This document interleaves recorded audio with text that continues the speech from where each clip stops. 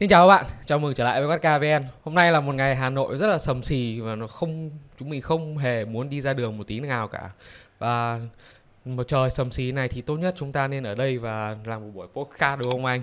Về những chiếc xe đã ra mắt và cũng sắp ra mắt trong thời gian sắp tới tại thị trường Việt Nam. Ờ, nhưng mà trước tiên khi vào một buổi postcard ngày hôm nay thì um, em xin phép anh Thắng và mình có một chút đôi lời chia sẻ đến với các bạn đang xem video của WhatKVN. Ở ờ, trong thời gian vừa rồi thì sự kiện lớn nhất mà của công ty mình đó là anh Thắng nhận chiếc VinFast V7 và mình rất cảm ơn mình là một người cầm kênh nhé mình uh, truy cập kênh hàng ngày mình đọc tất cả mọi comment ở mọi video và mình nghĩ là anh Thắng cũng như thế. Mình rất cảm ơn những comment cũng như là những đóng góp của mọi người chia sẻ với chúng mình ở dưới phần bình luận. Tuy nhiên mình biết là cũng có rất nhiều bạn là thể hiện ý kiến trái chiều. Thì chúng mình ờ, thực sự là mình và anh Thắng không xóa tất cả trên mọi nền tảng của VN cũng như ô tô cộng. Chúng mình không xóa bất kỳ một cái comment nào cả. Nhưng nếu như các bạn ờ, thể hiện ý kiến của mình một cách nó hơi mạnh bạo quá thì YouTube họ sẽ giữ lại, họ tự động giữ lại chứ không phải là bọn mình xóa đâu. Nên là mình biết chúng ta là những người đàn ông đa phần những người xem là xe là đều là đàn ông mà. Chúng mình đều là đàn ông. Chúng ta có cái tôi rất là mạnh và chúng ta muốn thể hiện điều đấy. Nhưng uh, mình mong chúng ta sẽ thể hiện cái tôi của mình cái ý kiến của mình một cách nó văn khách quan văn minh nhất. Và chúng mình uh, như mình đã nói mình không xóa một bất cứ một cái comment nào cả. Mình đọc tất cả mọi comment và chúng mình tiếp nhận mọi ý kiến trái chiều. Rồi. Mình luôn luôn là một cái người mà hòa đồng và không bao giờ ở muốn xóa bất kỳ một cái comment nào của các bạn cả. À, đó là cái cái tính cách của riêng mình. Và tất cả những cái nền tảng uh, mạng xã hội bây giờ thì người ta đều có những cái gọi là tiêu chuẩn cộng đồng. Uh, Facebook cũng có và uh, Google cũng có. Chính vì vậy mà những cái comment của bạn sử dụng của các bạn mà sử dụng những cái từ từ ngữ nó nó mạnh quá hoặc là nó nó không đúng theo kiểu uh, thuần phong mỹ tục thì uh, cái tiêu chuẩn cộng đồng ấy nó sẽ lọc ra cái cái nhóm từ khóa đấy và nó sẽ sẽ giữ lại nó pending lại. Và chúng tôi là những cái người mà hoạt động trên cái nền tảng đấy chúng tôi không có cách nào khác để có thể uh, khiến cho nó nổi lên được. Bởi vì uh, chính các bạn đã uh, comment sử dụng cái từ ngữ mà nó, nó vi phạm cái tiêu chuẩn cộng đồng của chính các nhà cung cấp dịch vụ uh, mong rằng các bạn sẽ ủng hộ chúng tôi và chúng ta thoải mái tranh luận một cách văn minh lịch sự. Tôi không bao giờ xóa những cái comment của các bạn dù là thuận hay là trái chiều. Anh có thích đồng hồ không anh? Ờ, đương nhiên là một người à, đàn ông thì mình thích một cái đồng hồ bởi vì tại sao thế?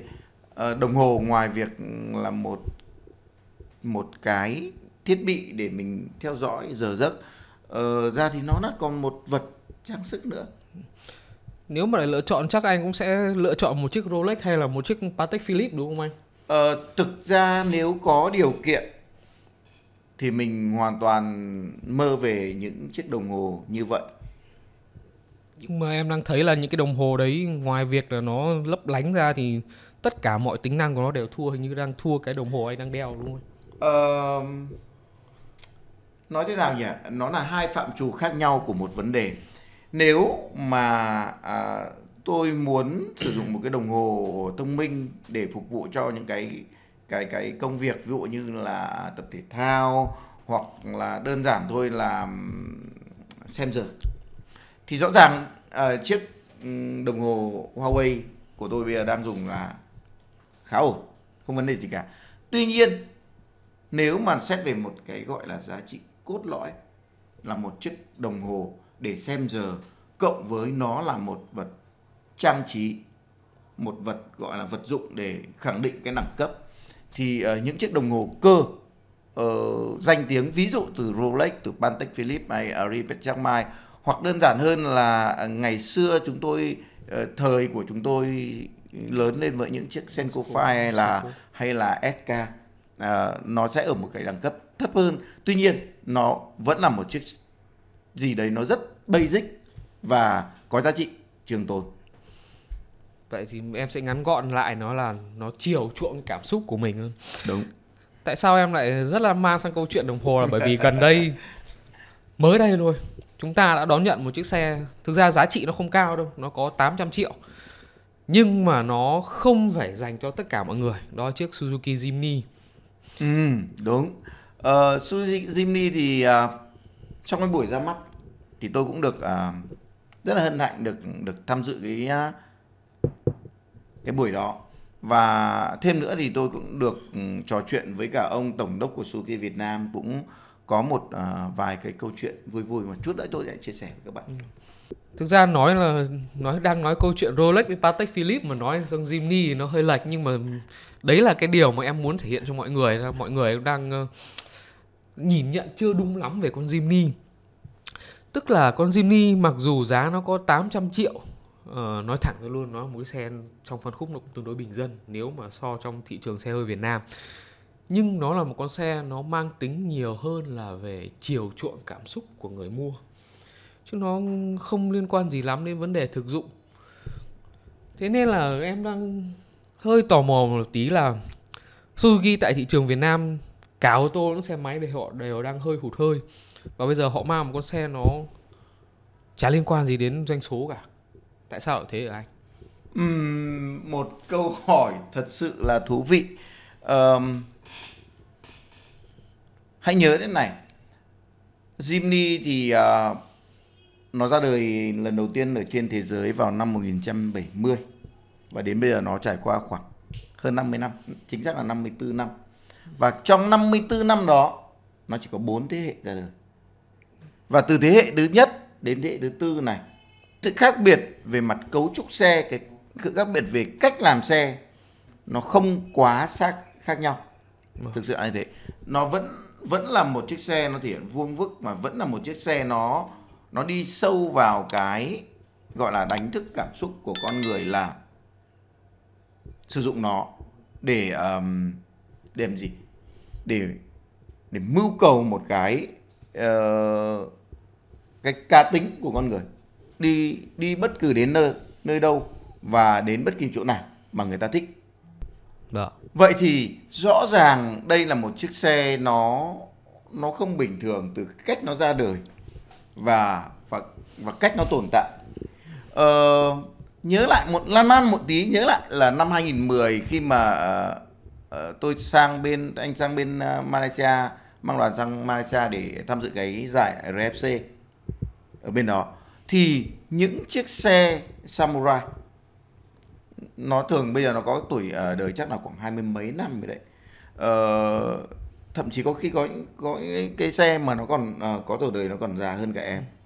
Nhưng họ vẫn mang chiếc xe đấy ra độ lại nâng cấp lại và mang đi off road một cái off road nặng bậc nhất ở thế giới và nó vẫn nó vẫn tồn tại như là một cái vật chứng mà không thể thay đổi được. Đó. Ờ, thế thì tại sao Jimny lại Suzuki Việt Nam lại mang Jimny về mà vào thời điểm này mà không phải là mấy năm trước? Thực ra thế này mà hãy nhớ ờ, uh, Suzuki Việt Nam họ có ba mảng kinh doanh. Một mảng là xe hai bánh. Vâng một mảng là xe thương mại và một mảng là xe du lịch. Xe hai bánh thì dường như cái thời kỳ hoàng kim của họ đã đi qua rồi. Ờ, thời mà những chiếc Viva nó làm mưa làm gió cạnh tranh rất là sòng phẳng với những chiếc Dream của những thập niên 90 thế kỷ, thế kỷ trước. Rất tiếc cho Viva Viva giờ chạy vẫn chắc xe. Vẫn hay mà. Vẫn Viva rất vẫn chắc chắn. Và chất của xe Suzuki chạy rất vui. Nếu ai mà các bạn chạy bánh xe bánh rồi các bạn chạy những con kiểu như Rider chẳng hạn thì tầm kiểu uh, Winner hoặc là Exciter thì thôi đừng có đừng có nói chuyện về nó đúng không? Vâng. Đúng đó. Rồi. Nhưng mà cái cách kinh doanh của họ thực sự cũng khá là đặc biệt khiến cho là cái thị phần của xe Suzuki ở Việt Nam nó ngày ngày càng một uh, mai một đi và uh, nó trở nên rằng không phải là còn một là một cái mảng kinh doanh mà uh, sinh lợi cái thứ hai một cái mảng mà tôi nghĩ rằng anh nghĩ là đây là cái mảng mà sinh lợi nhiều nhất của Suzuki đó chính là xe thương mại. Thì xe thương mại thì uh, Suzuki có có có một số dòng đại đại bộ phận phận là xe dòng xe tải nhỏ hoặc là ven nhỏ. Su cóc ừ. gọi là su cóc hoặc là carry đấy kìa ờ, và xe dưới một tấn. Thì cái này nó có thể rằng là vô địch. Nó vô địch ở đây không có nghĩa rằng nó nó quá hoàn hảo mà chẳng qua là gì? Ở rất ít xe cạnh tranh với nó gần như nó độc quyền.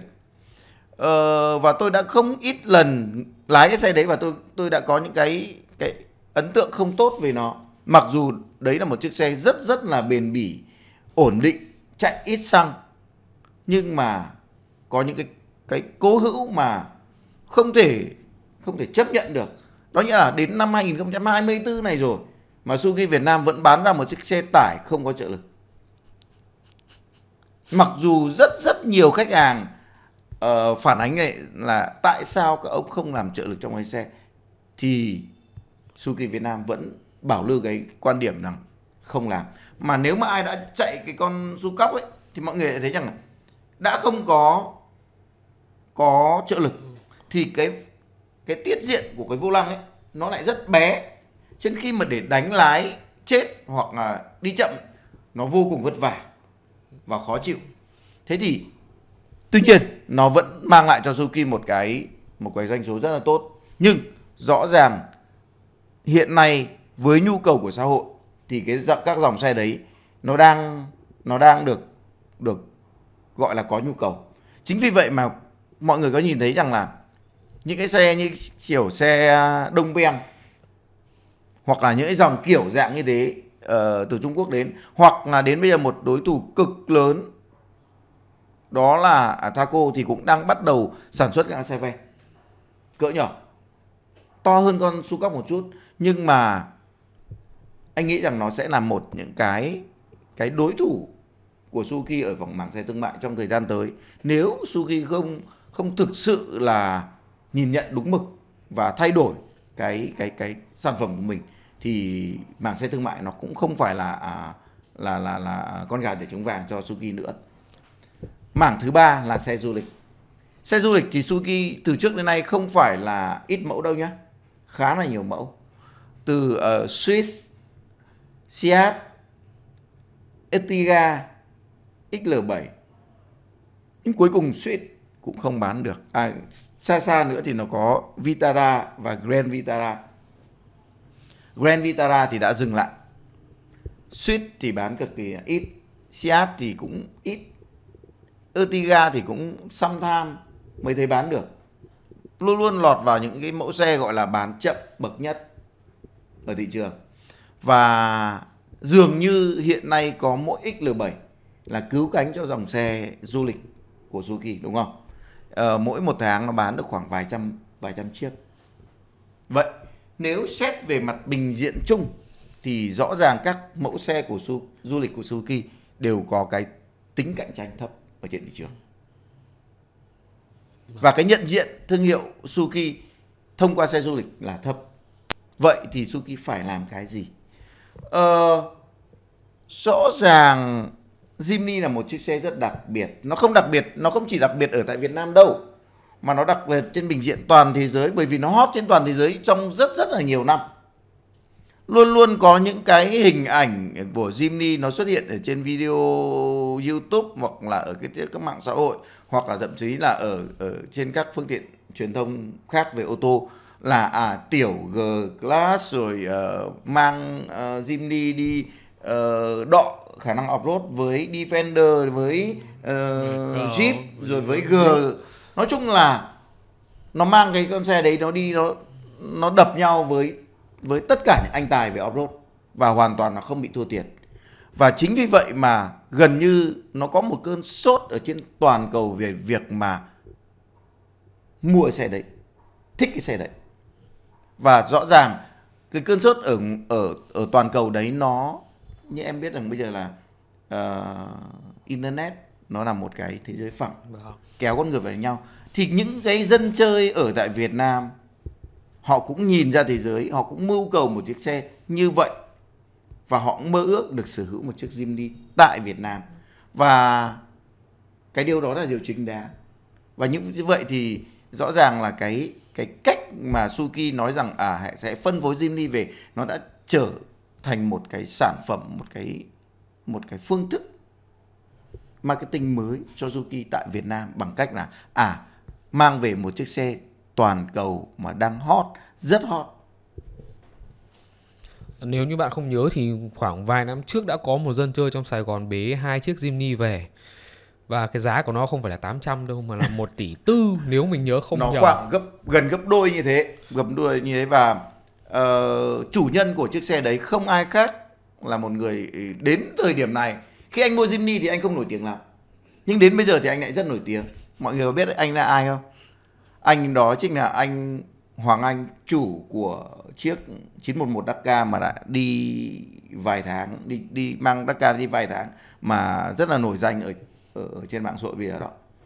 Chủ xe là nói luôn lên cái tinh thần của cái xe rồi đúng xe chơi. Đúng rồi nhưng mà anh nghĩ là cái cách làm này nó có hiệu quả không anh? Bởi vì đây là một đây là một bước đi mà Suzuki chiều một khách tập khách hàng rất là nhỏ. Em thấy nó cũng sẽ không ảnh hưởng nhiều đến cái doanh số của những chiếc xe thấp hơn. Ờ, rõ ràng thì cái tệp khách hàng của Jimny chắc chắn sẽ không thể lớn được. Nhưng hãy nhớ Jimny nó sẽ khiến cho nếu mà Suzuki Việt Nam biết cách nuôi dưỡng cái thương hiệu đó cái tinh thần đó thì nó sẽ khiến cho cái tên của Suzuki luôn được nhắc đến ở trên rất nhiều bình diện và ngoài và tại sao tôi đồng ý với Suzuki Việt Nam là họ sẽ mang một chiếc Jimny ba cửa về trước khi họ mang chiếc à, cái Jimny 5 cửa. Bởi vì tại sao là thế? Đã dân chơi ấy, thì họ phải mua một chiếc xe để họ chơi. Họ chơi theo cũng đúng kiểu cá nhân của họ. Thậm chí họ chỉ cần chơi với một bạn đồng hành đó là một người thân yêu nhất của họ vợ con trai hoặc gì đó. Thì một chiếc xe ba cửa chỉ cần sử dụng hai ghế trước thôi đằng sau là họ có thể uh, để đồ. để đồ. Và sau đấy họ tùy biến chiếc xe đấy theo đúng cái ý thích và sở thích của họ. Họ thích camping thì họ thích họ họ độ theo kiểu camping họ thích đi câu cá thì họ sẽ theo độ theo kiểu câu cá họ thích đi off road nặng thì họ sẽ độ đi theo kiểu off road nặng. Và nếu các bạn xem cái video của tôi uh, gọi là soi nhanh cái xe đấy thì cái biết rằng là Jimny là một chiếc xe đặc biệt ở giữa cái thế kỷ 21 này. Rằng là khi mà tất cả những chiếc xe nó kiểu vuông vuông à, nó phải à, ở khung khung tròn tròn để cho tăng cái khí động học. Điệu điệu điệu điệu, điệu. kiểu kiểu thì uh, Jimny thì nó lại vuông vức như một cái bao riêng khi mà tất cả thế giới đều mong muốn phải đi một chiếc xe có, có hệ treo đa điểm để cho nó êm để cho, cho bám đường thì Jimny lại sử dụng hai cầu cứng ba liên kết. Rất basic từ những năm xa xưa của thế giới. Và khi mà tất cả mọi người sử dụng một cái gọi là cái thước lái, trợ lực điện hoặc trợ lực dầu để điểm gì? Để cho cái cơ cấu lái nó nó chính xác hơn, nó thích thú hơn.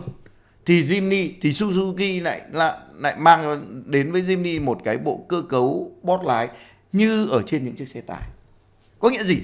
Họ muốn một chiếc Jimny là một một cái, một chiếc xe luôn phải sống sót trong mọi điều kiện hoàn cảnh và nếu cái, các bạn ngồi lên chiếc xe Jimny mà Suzuki Việt Nam mang về, mà đặc biệt nó lại mang về từ Nhật Bản chứ không phải là một thị trường khác, thì các bạn có thể nhìn thấy các bạn yêu nó từ những cái những cái chi tiết rất là nhỏ.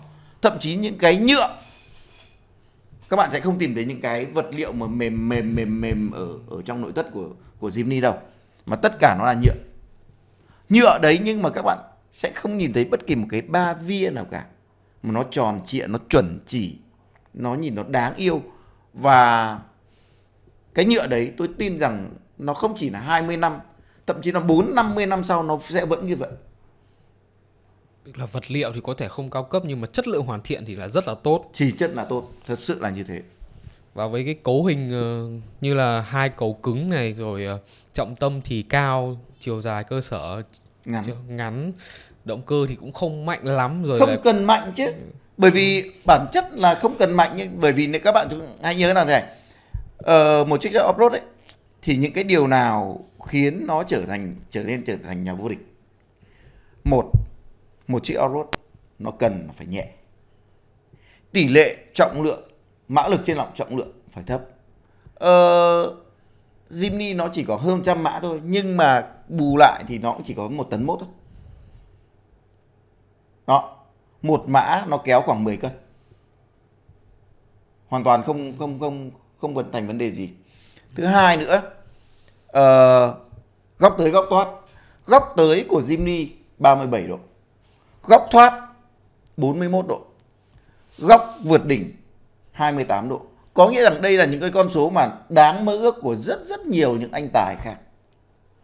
Và cái chiều dài cơ sở nó ngắn khiến cho con xe nó linh hoạt cực kỳ à, thì tất cả những cái chỉ số đấy khiến cho à Jimny nó là một chiếc xe để chơi chứ không phải là để chạy nhanh hay là gì cả.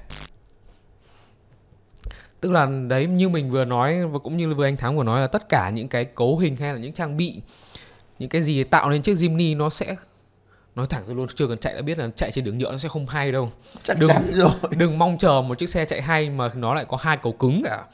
Nhưng nếu mà mang đi chơi hay là dùng để chơi đặc biệt là chơi off-road thì nó là một chiếc xe cực kỳ giá trị.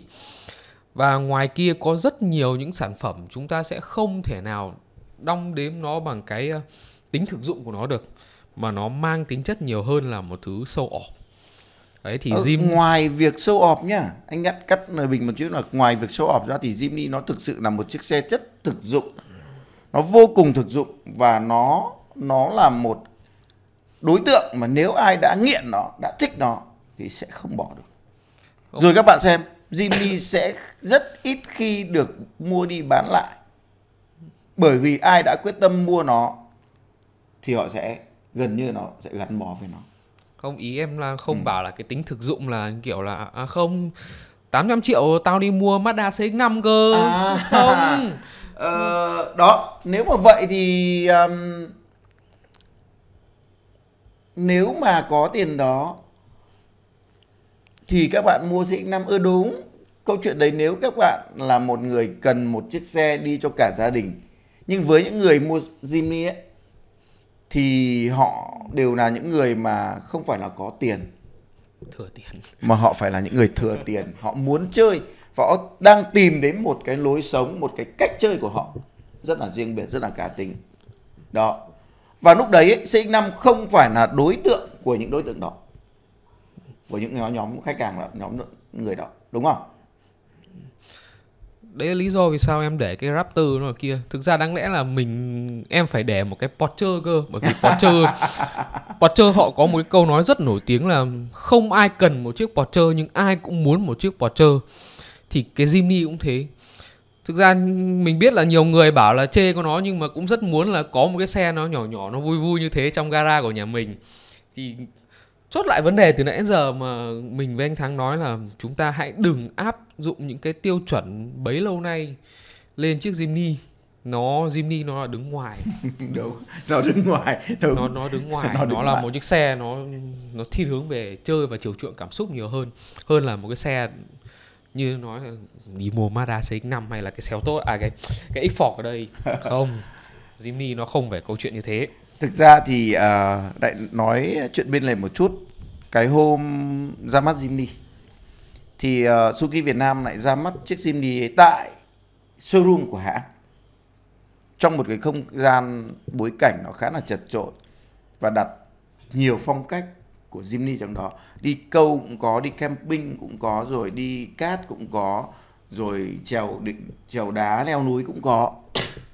Nhưng anh có nói chuyện với cả ông tổng đốc của của Suzuki Việt Nam. Dường như nếu tôi là người được lựa chọn thì tôi sẽ không lựa chọn ra mắt Jimny tại đây. Bởi sao lại như vậy? Bởi vì uh, các ông chưa tạo được một cái cảm xúc cho những người đến đây. Uh, thì ông ấy cũng cũng nói rằng là hình như hình như ông đang nói đúng. Nói với anh thế. Thì uh, hãy nhớ thế này tất cả chúng ta chỉ có thể nhìn vào Jimny thì thấy rằng à nó là một chiếc xe bé bé con con uh, nếu mà không ai không quá hiểu ấy thì nó bảo tự nhiên một cái xe nó bé tí ba mét mấy ở ờ, giá 800 triệu đúng là kiểu ma nó mua. Nhưng nếu các bạn thử xem đem cái Jimny đấy ra một cái đồi cát hoặc là một cái tôi tôi lấy ví dụ là một cái kiểu như làng văn hóa chẳng hạn tạo cho nó một cái bối cảnh.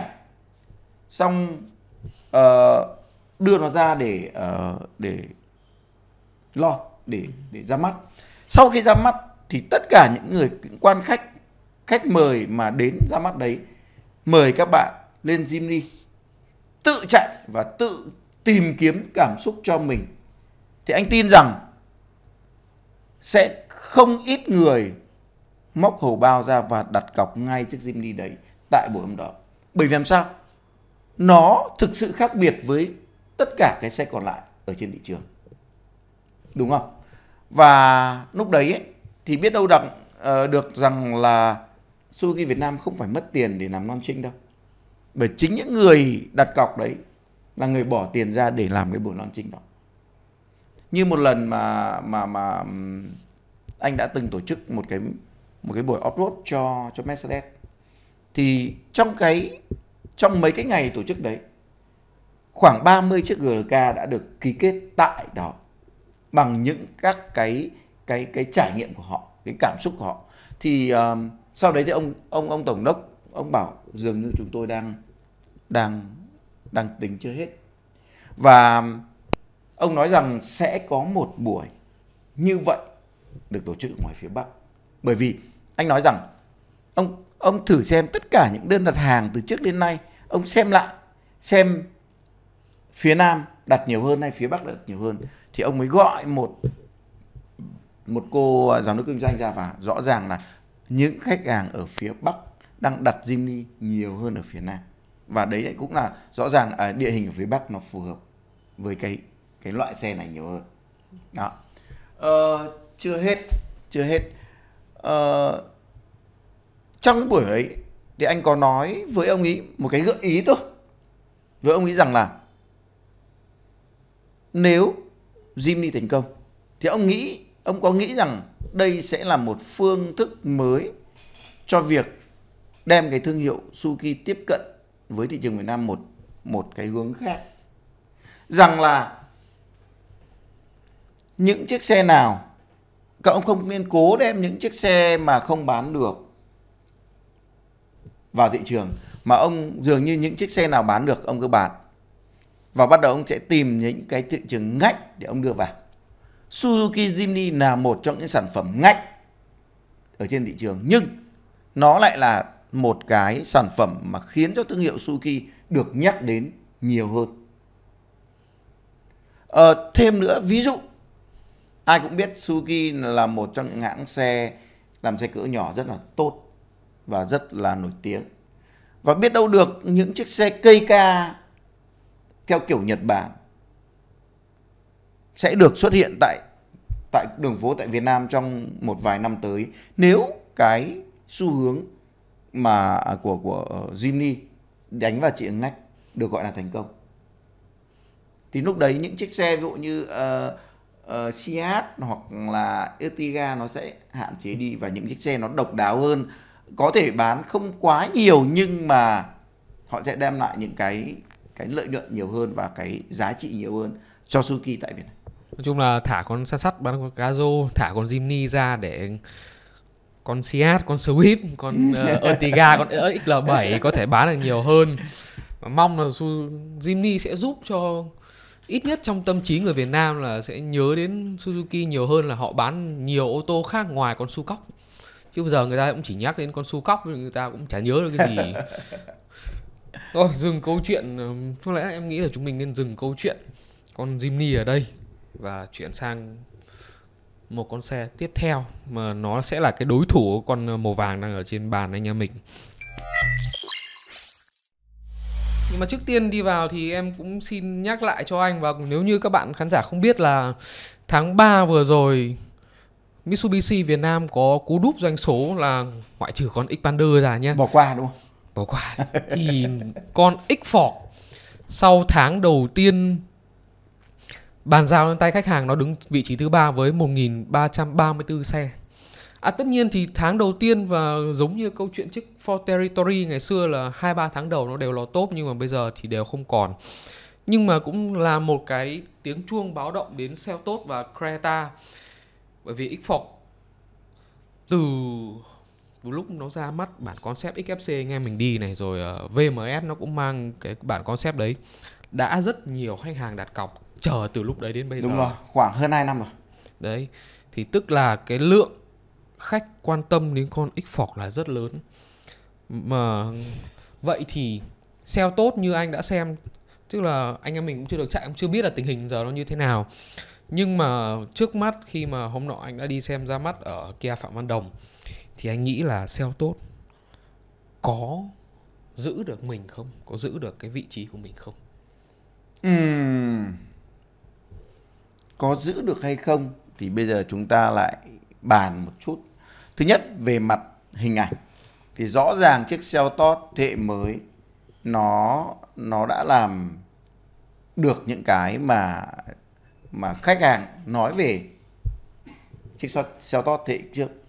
Ví dụ những cái màn hình uh, cụm đèn trước, cụm đèn sau, thậm chí là kể cả nội thất nó đã được làm mới lại. Và dường như chiếc uh, chiếc Seltos thế hệ mới nó nuột hơn nó đẹp hơn nó mướt mắt hơn. Nhưng mà cũng rất đáng tiếc rằng nó cũng đắt hơn đắt hơn tất cả các phiên bản đều đắt hơn 30 củ đúng không? ở đến khoảng 3 40 triệu gì đấy cho từng phiên bản và đặc biệt phiên bản cao cấp nhất bây giờ thì vẫn chưa có giá. Và phiên bản thứ nhì là phiên bản premium hiện nay nó đã có giá 739 triệu. Đắt nhất trong phân khúc hạng B. Trong khi 739 triệu là vẫn chưa có ADAS nha. Mới có cool control thôi. Thì nếu mà cộng ADAS nữa vào và thêm một số những cái tính năng nữa vào thì uh, anh nghĩ nó sẽ không không thể dưới thêm 30 triệu nữa là ít 739 Đúng rồi. 740 cộng 30 triệu nữa là 750 hình như nó vượt vượt cái gì đấy đúng không hình như nó vượt vượt cái gì đấy Ờ, thực ra hôm nọ thứ bảy thì BMW Motorrad Long Biên mới ra mắt một hai chiếc xe máy. BMW Motorrad thì cũng là thuộc Thaco rồi. Họ ra mắt hai chiếc xe, một chiếc thì 1 tỷ và một chiếc ờ, rất tuyệt vời, đó là 1 tỷ 3, gần 1 tỷ 3. Thì em mới quay sang hôm đấy cũng có mấy anh em làm truyền thông đội trẻ trẻ giống em đi cùng.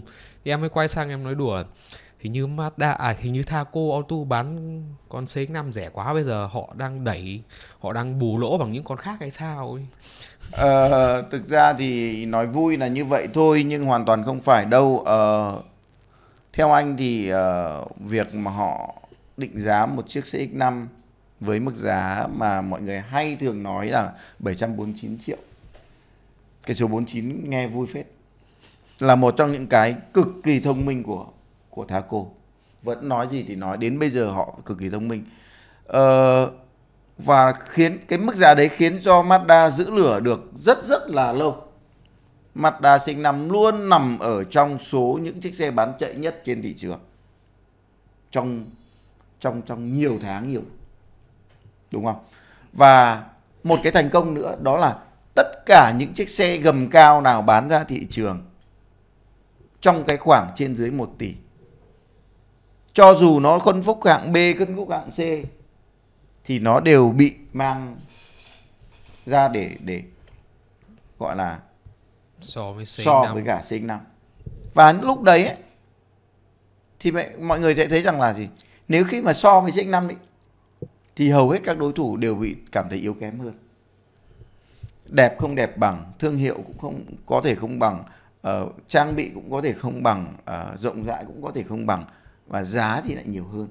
Đó. Thế thì đây là một cái cách mà Thaco làm vô cùng thông minh, vô cùng thông minh.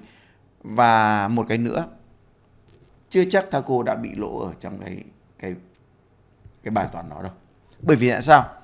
Hãy nhớ rằng à, uh, CX-5 là một chiếc xe nó đã được ra đời rất là lâu rồi, nó khoảng độ uh, trên 10 năm.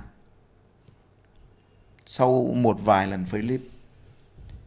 Và tất cả những cái dây chuyền đấy nó đã được khấu hao hết. và hiện nay thì à, uh, Taco Mazda đã lắp ở tại Chu Lai cũng được nhiều năm rồi và nghĩ rằng là họ hoàn toàn có thể cân đối về mặt chi phí sản xuất để khiến cho cái giá xe nó hợp lý nhất. Bởi vì dù sao trong Mazda thì X5 là chiếc xe chiến lược của họ. Họ đã Đúng nội không? địa hóa nhiều hơn mà họ nội địa hóa nhiều hơn, họ tối ưu được nhiều hơn và họ đưa ra cái giá đấy và khiến cho các đối chủ thủ đều phải đều phải dè chừng.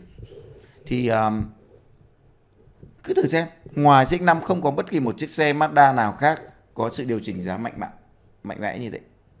Đúng không? Vâng. Đó. Cho nên rằng là bảo rằng CX5 bán CX5 với giá đấy nó sẽ lỗ thì không, chưa chắc đâu. Có khi họ lại đem lại một cái cái lợi nhuận lớn đấy.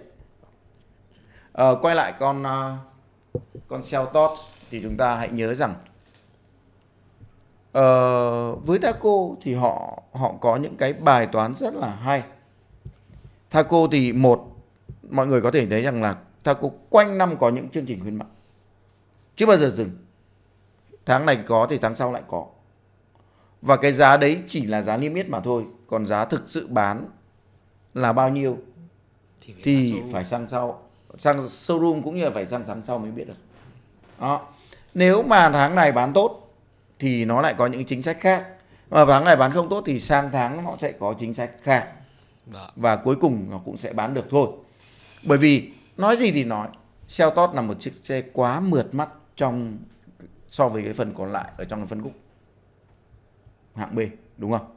Kể cả chiếc xe mà em vừa nói là chiếc X-Force thì uh, nó nó mang một chất rất là nhật. Nó vẫn có những cái nét thiết kế nó vẫn có gì đấy thô thô thô thô nó không được mượt mắt như treo tốt. Nhưng có thể rằng là cái chất xe nó sẽ khác nhau. Và cái chất xe như nào thì mình phải đi lại đi mình đánh giá thì mới biết được thực ra thì em chưa được chạy chiếc X Force thì anh đã được trải nghiệm rồi này. Từ bên Malai về đây Indo Indo. Indo về đây. Thì uh, nếu như các bạn không biết thì nhà mình đang có một chiếc EcoSport. Chiếc mà khai sinh ra không thực ra khai sinh là Vitara nhưng mà chiếc xe đấy nó là bùng nổ của phân khúc hạng B. Và khi dùng EcoSport thì em mới hiểu vấn đề là tại sao con xe tốt nó lại đứng nhất nhì phân khúc là nó rất là rộng ngồi ngồi EcoSport hàng sau khổ lắm. Đúng. Thì em không biết là cái cái khoang sau của Xbox nó có nó có cạnh tranh được với xe tốt không anh? Bởi vì hôm trước em ngồi xe tốt là em nghĩ là một người một mét tám hoàn toàn có thể ngồi rất thoải mái. Ờ, nếu nói về không gian thì anh nghĩ rằng à, Xbox họ đang làm tốt. Và họ họ bảo cho họ thiết kế ra chiếc xe này là dành riêng cho thị trường Đông Nam Á. Cho nên họ rất phải rất hiểu được cái thị trường đó. Và đặc biệt cái thị trường mà nhắm đến đầu tiên của Xfork này nó chính là thị trường Indo nơi mà cái cái số lượng xe bán ra được nhiều nhất ở Đông Nam Á. Thì rộng rãi là một tiêu chí hàng đầu và rộng rãi cũng là cái tiêu chí mà em nghĩ đã giúp cho xe tốt đá bay được Kona với EcoSport ra thị trường đúng Việt rồi, Nam. Đúng Độ rộng rãi thì uh, X-Force với cả Seltos có thể nói là sẽ nằm 19 một 10. Uh, có gì đó thì X-Force về mặt dài rộng cao nó nhỉnh hơn uh, Seltos một chút. Nhưng ở trong không gian thì anh nghĩ rằng uh, xem xem được nhau 19 một 10 và không có quá nhiều nhiều những cái lợi thế. Uh, cho dù là X-Force về mặt chi tiết ra nó có có có trội hơn một chút. Rồi bây giờ ngoại hình thì uh, tùy từng người tùy gu từng người. Nội thất thì có hai con anh cũng vừa mới chia sẻ rồi. Vậy thì còn vận hành thì sao anh? Vận hành thì uh, rõ ràng đây là một sự thay đổi rất là lớn ở trong chiếc Kia Seltos uh, Kia Seltos ngày trước thì sử dụng uh, khối động cơ tăng áp cộng với hộp số DCT 7 cấp. Côn kép. Và nếu ai đã từng mà cầm lái xe tốt ý, thì đều thấy rằng xe tốt là một chiếc xe chạy rất là vui bốc và lái thích. Tuy nhiên gắn với nó lại có những cái cái mà không được gọi là nhiều nhiều nhiều nhiều ấn tượng lắm. Đó chính là uh, có một số người không phải tất cả mọi người lái xe tốt đều bị lỗi đấy. Nhưng có một số người uh, kêu rằng là lái xe tốt sẽ hay bị quá nhiệt hộp số. Và đương nhiên thôi quá nhiệt hộp số này thì thì thì uh, rất dễ giải thích. Bởi vì là khi hộp số ly hợp kép mà côn khô lại lái côn đơn thì chạy ở trong phố theo kiểu nhấp nhả nhấp nhả thì chắc chắn nó sẽ bị uh, bị bị bị quá nhiệt và cái kiểu quá nhiệt đấy nó không chỉ nằm ở xeo tốt đâu mà cái chiếc EcoSport của nhà em nó cũng bị mà. À không Eco nhà em là đời sau rồi anh à lại đời sau à? Lại lại chơi 6 cấp um, tự động hả? Nhà em là đời lành hơn rồi. Ừ, nhưng mà đó. không phải đấy nhưng mà Thế thì- em hiểu câu chuyện rồi. Đó. Tuy nhiên xeo tốt đời này thì Taco đã đã có thay đổi một chút. Họ mang một cái cấu hình à, chuyển động giống như ở trên chiếc Creta về với một khối động khối động cơ nạp khí tự nhiên à, công, dùng công nghệ Smart Street và hộp số CVT ở Hyundai ở bên thương hiệu Hyundai thì họ gọi là IVT nhưng ở bên à, bên bên Kia thì họ vẫn gọi là CVT nhưng rõ ràng đây là một cấu hình lành hơn lành hơn. Nhưng đánh đổi lại đây cái cấu hình này nó sẽ khiến cho chiếc chiếc Seltos chạy không được hay như thế trước nó. Và phiên bản cao cấp nhất của Seltos hứa hẹn là sẽ chạy hay với uh, chất thì như đời cũ và hình thức thì như đời mới. Nhưng rất tiếc phiên bản đấy chưa ra thị trường và chưa có giá. Còn uh, với chiếc X-Force này liệu rằng à, uh, Seltos có thể uh, bám đuổi chiếc X-Force này không? Và có lấy lại cái cái gọi là cái danh hiệu xe bán chạy nhất ở trên phân khúc hạng B không thì đúng là phải chạy thử và đánh giá thì mới biết được rằng là à chất của xe như nào. Chiếc xe này thì ừm, chắc là à, đợt tới khi mà tìm được một à, một khách hàng nào đó của à, mua X-Force thì mình sẽ sẽ nói chuyện với họ ờ, xem nói chuyện lý để do chúng ta có sao. thể ờ, họ mua xe cũng như là họ cảm nhận cái xe của mình nó như thế nào ok ừ. Chiếc xe cuối cùng trong buổi postcard ngày hôm nay nó đến từ thương hiệu mà chúng mình vừa mới lộn gầm, anh Thắng vừa mới lộn gầm. cũng ờ, view rất cao. View rất cao nhưng bên dưới thì cũng rất nhiều ý kiến trái chiều. Toyota Việt Nam đã xác nhận rằng chiếc Toyota Corolla Cross sẽ ra mắt Việt Nam vào ngày mùng 6 tháng 5 và cũng đã có luôn giá bán đó là 905 triệu cho bản hybrid và 800 bao nhiêu anh nhỉ? khoảng hình như là nhớ không nhầm là khoảng tám tám trăm ba 830 cho bản V và đã không còn bản G nữa. Thì nhìn chung là giá thì xe đã giảm rồi. Và chiếc xe này thì nó vẫn luôn bị lấn cấn trong phân khúc B cộng C trừ giảm giá tức là nó nó đang cạnh tranh với cái xeo tốt với cái X-Force mà anh em mình vừa nói chuyện. Và cả giá Red Cross nữa. Thì có phải là bỏ, thứ nhất là giảm giá là bởi vì gần đây là doanh số của Toyota cũng hơi thấp.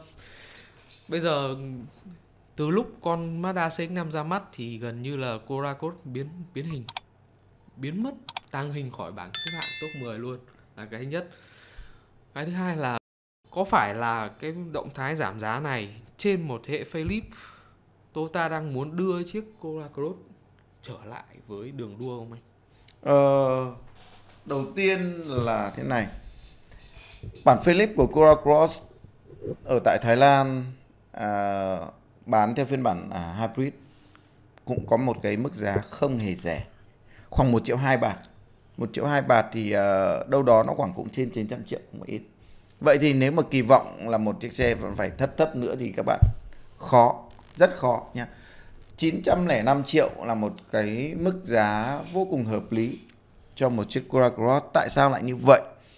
Ờ, xin thưa rằng là các bạn kể cả nó là phiên bản hybrid đi chăng nữa thì cái ờ, uh, Cora Cross hybrid và Yaris Cross hybrid hoàn toàn không thể so được với nhau. Một con là DNGA và một con là TNGA. Nếu ai đã chạy uh, chiếc ờ, uh, Cora Cross thì rất ít người chê nó. Và không phải tự nhiên nó chiếm trệ ở một cái cái ngôi vương ở cái phân khúc đấy. Mặc dù là nó là chỉ C trừ thôi nhưng mà nó đã vượt qua rất nhiều những anh tài của hạng C kể cả về giá về doanh số bán ở trong một thời gian rất là dài. Um, và nếu mà ai cần một chiếc xe đi trong đô thị thì rõ ràng Cura Cross là một chiếc xe đi hay ở trong đô thị. Đó. Thế thì câu chuyện bản Philip nó có cái gì thay đổi? Nếu mà họ mang về bây giờ thì chưa đến mùng 6 tháng 5 và nếu họ mang về cái phiên bản mà giống ở bên Thái thì cái thay đổi nhiều nhất đó mặc ca lăng.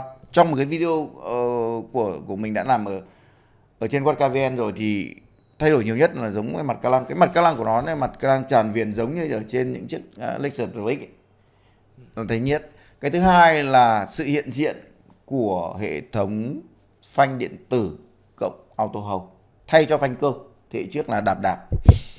Và cái gì nữa?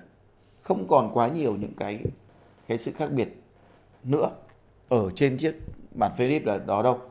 Và nhưng là rất hay rất hay ngay khi mà Toyota Việt Nam công bố giá bán thấp hơn giá bán cũ vài chục triệu. Và nhận đặt cọc. Thì lập tức là có những cái câu chuyện vui xung quanh cái chiếc xe đó. Nếu là các bạn trong group ô tô cộng thì chắc chắn các bạn sẽ thấy cái bài post của mình. Đó là một đơn vị, không biết đơn vị nào, thực sự không biết đơn vị nào nhưng mà đã tặng kèm khách hàng gói lạc 20 củ.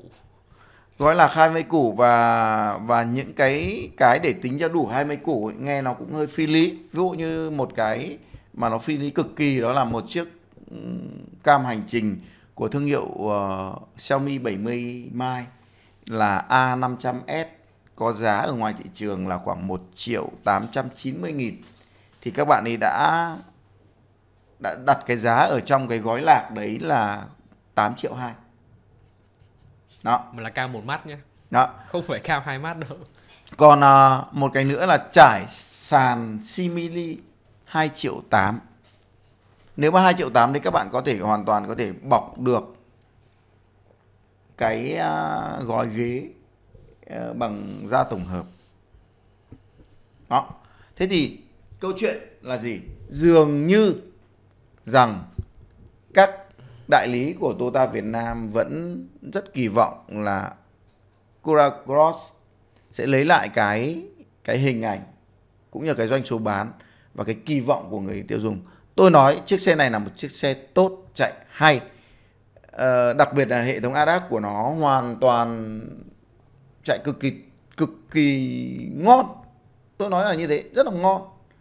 À, cho nên rằng là cũng có thể vì vậy mà các đại lý của Toyota đang đang kỳ vọng là đây có thể là một chiếc xe lấy lại cái doanh số lại thị phần và đặc biệt là họ cũng sẽ đẩy cho cho cho cái gọi là uh, kinh doanh bớt lỗ.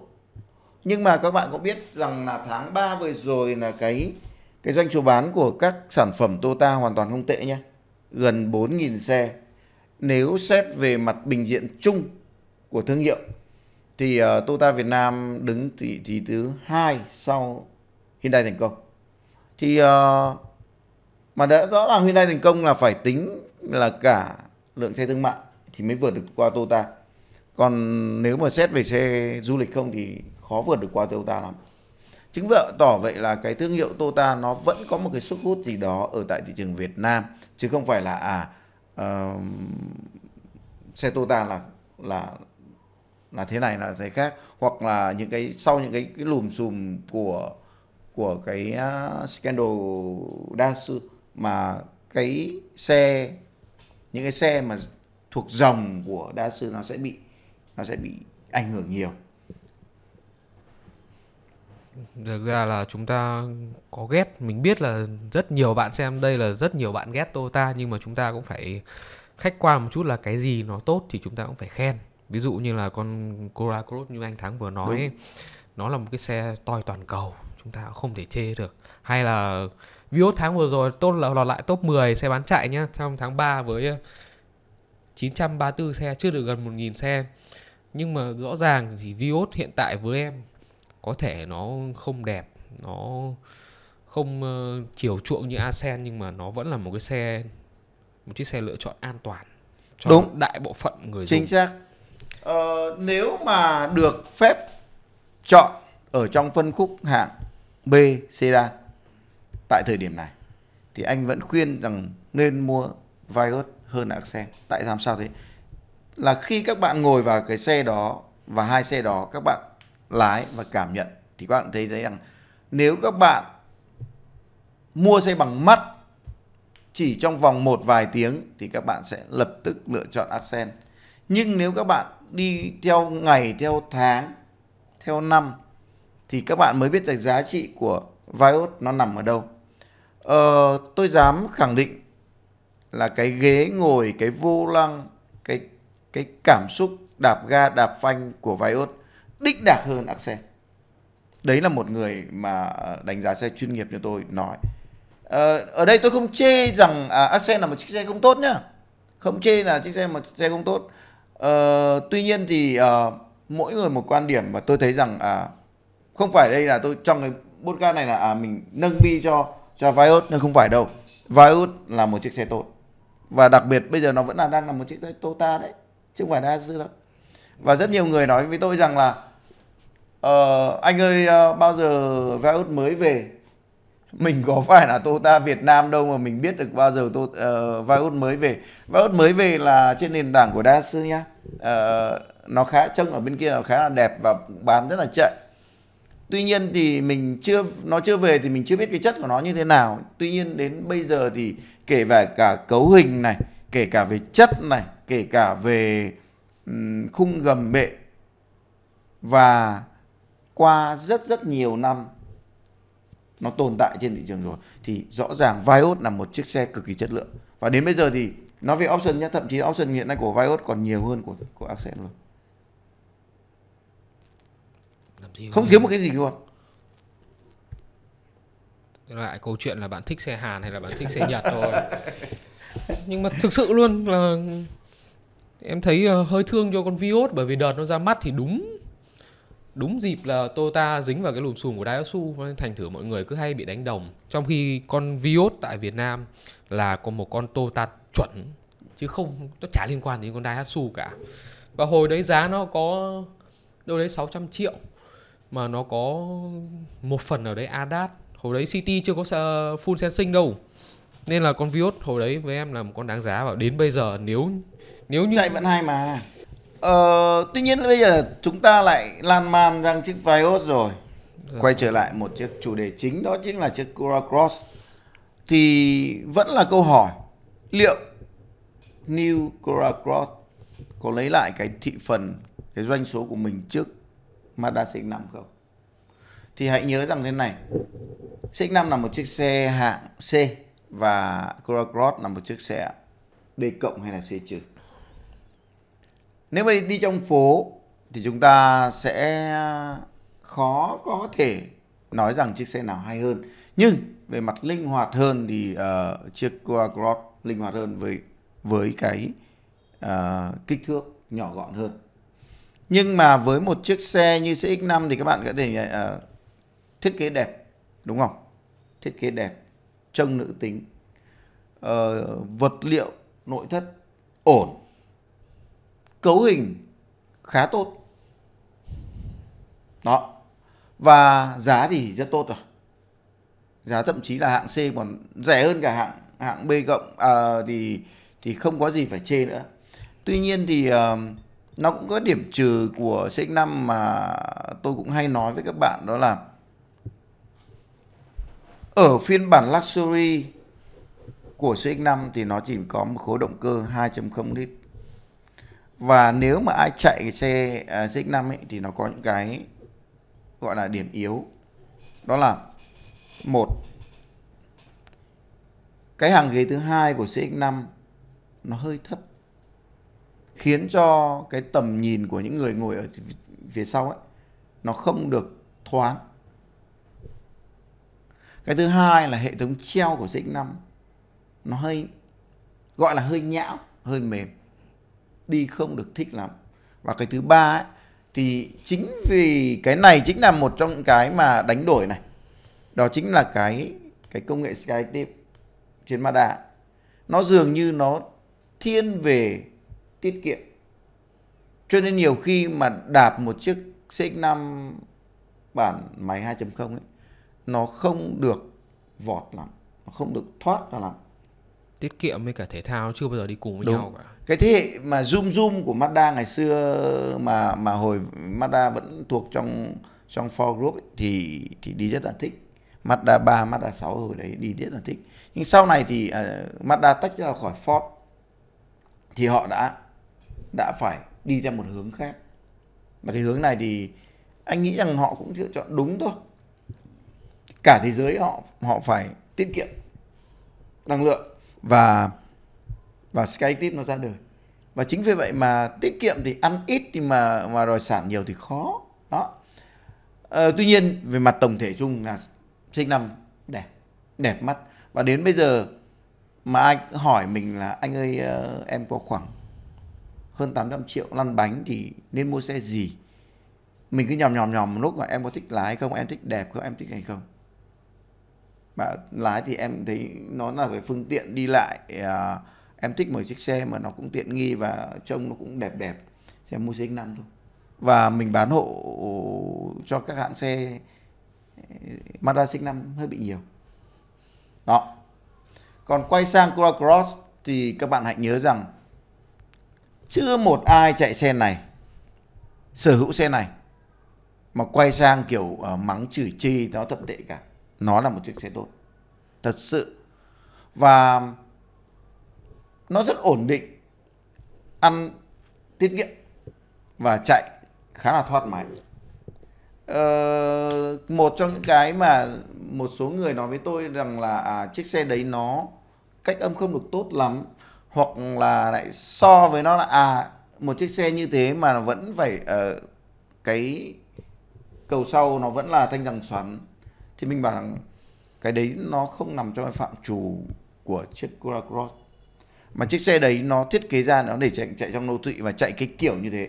Và chắc chắn rồi đây là một chiếc xe tiết kiệm chi phí sử dụng nhất mà các bạn có thể sử dụng.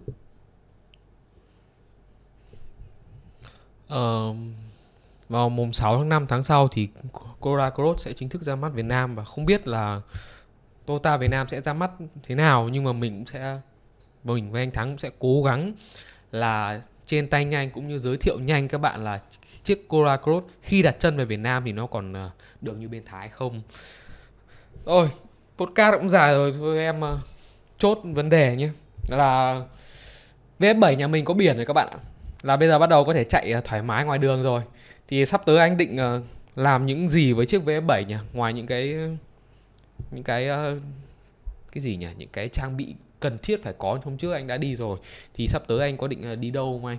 Ờ, thực ra thì à, có thể nói rằng chạy loanh quanh khi mà chưa đăng ký biển chưa đăng kiểm thì đã chạy rồi. Ờ, và đến bây giờ khi mà có biển rồi có đăng kiểm xong rồi thì à, đây chính thức sẽ là một trong những cái series về về VF7 và tôi tin rằng thứ mà các bạn đang chờ đón nhất đó chính là VF7 chạy như thế nào đánh giá một cách tổng thể nó nguyên bản. Cái thứ hai là VF7 chạy có dài hơn được VF8 không? Quãng đường có xa hơn không? Đó.